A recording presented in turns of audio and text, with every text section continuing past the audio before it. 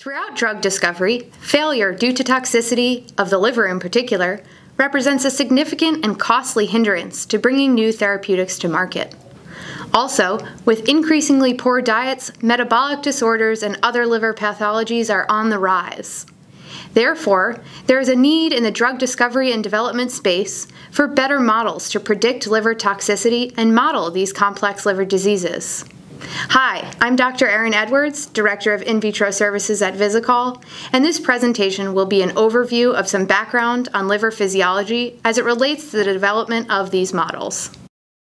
The human liver is a beautifully complex yet highly ordered organ comprised of many functional units known as liver lobules, which are capable of filtering blood and producing and transporting bile. While some oxygen rich blood enters the liver lobule through a branch of the hepatic artery in order to nourish the liver, the majority of blood that is to be filtered enters the liver lobule through a branch of the hepatic portal vein.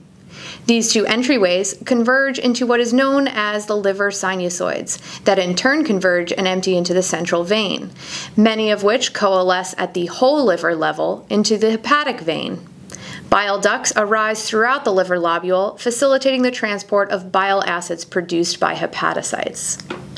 Now, as blood travels through this architecture, many of the body's needs are fulfilled, from blood filtration to production of plasma proteins to glycogen storage and breakdown and clearance of drugs or other toxic substances.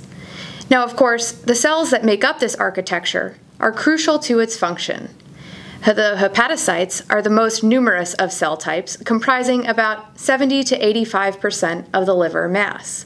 And their polarization sort of sets up the lobule structure.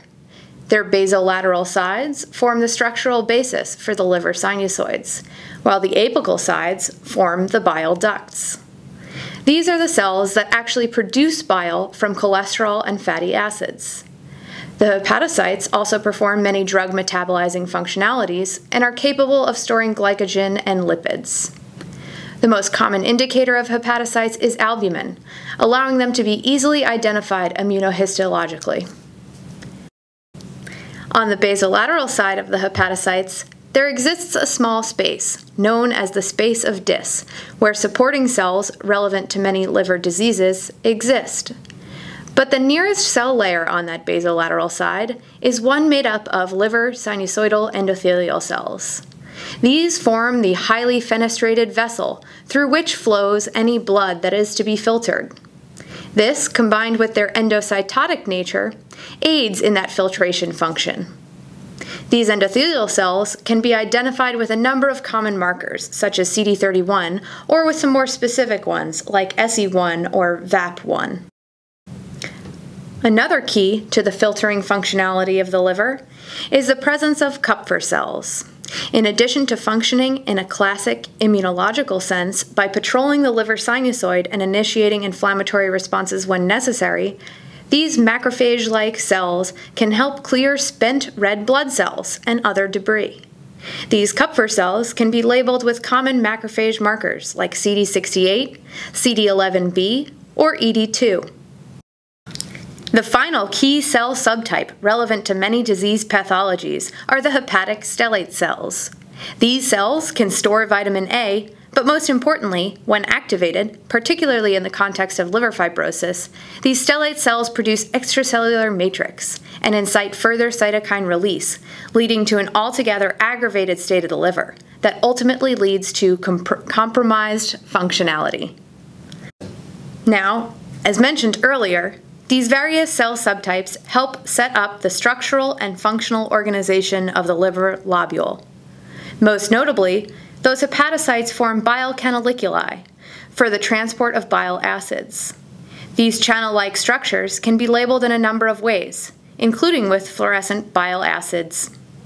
Several drug transporters, here shown as an example is MDR1, can also help identify that apical hepatocyte surface that forms the bile canaliculi.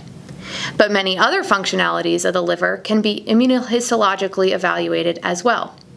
For example, the expression of cytochrome P450 enzymes, those crucial ex- executors of drug metabolism, can be assessed before and after stimulation. But altogether, as we start to consider this structure and the need for models that can accurately assess liver toxicity and diseases, we need to think of the best models that mimic both structure and function. Given their low cost, high throughput, and the relatively low ethical concerns surrounding their implementation, cell culture models have increasingly been implemented in drug discovery especially since many animal models actually express different hepatobiliary transporters, the use of human cell based models has become a huge focus. However, even with cell culture, there's a lot of variability. For example, 2D cell cultures often lack expression of known important transporters, like MRP2, while 3D cell cultures exhibit plentiful expression.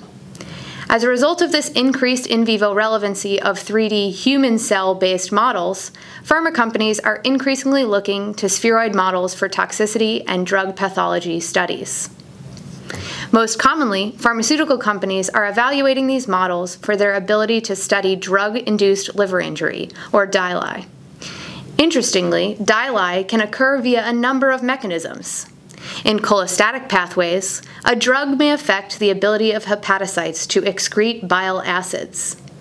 The increasing accumulation of bile acids leads to reactive oxygen species production, mitochondrial dysfunc- dysfunction, and ultimately cell death. In non cholestatic mechanisms, drugs or metabolites may be directly cytotoxic by binding proteins, disrupting membrane integrity, or by altering calcium homeostasis. Idiosyncratic mechanisms are particularly perplexing since, by name, these types of injuries only occur in a small subset of patients. It's thought that these mechanisms may be due to metabolizing enzyme variability in the patient population or possibly immune mediated mechanisms. As a result, pharmaceutical companies are looking for in vitro models that can evaluate drugs for their ability to incite liver injury through any of these mechanisms. Many drug development companies are looking to solve other liver pathologies. One very common one, due to increasingly poor diets in developed countries, is non alcoholic fatty liver disease. This disease often pre- presents as a continuum, beginning with excessive lipid accumulation, known as steatosis, that can result from drug induced injury or de novo lipogenesis from high sugar diets. When accompanied by an inflammatory insult, this can result in fibrosis of the liver, which ultimately interferes with the ability of the liver to perform its normal functions of filtering blood and producing bile for digestion.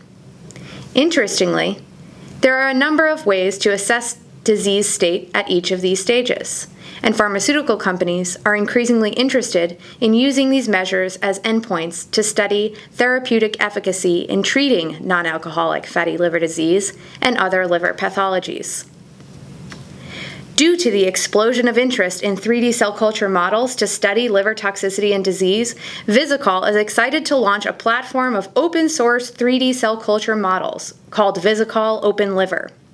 These models, which range in complexity to fit the specific cost, throughput, and validation requirements of different research questions, are currently being used in in house studies and will soon be commercially available for external use. All open source protocols, material sourcing guidelines, and culture recommendations will also be made freely available as part of Visikol's effort to generate consensus around appropriate model choice for exploring toxicity and liver disease. For more information, visit us at visikol.com.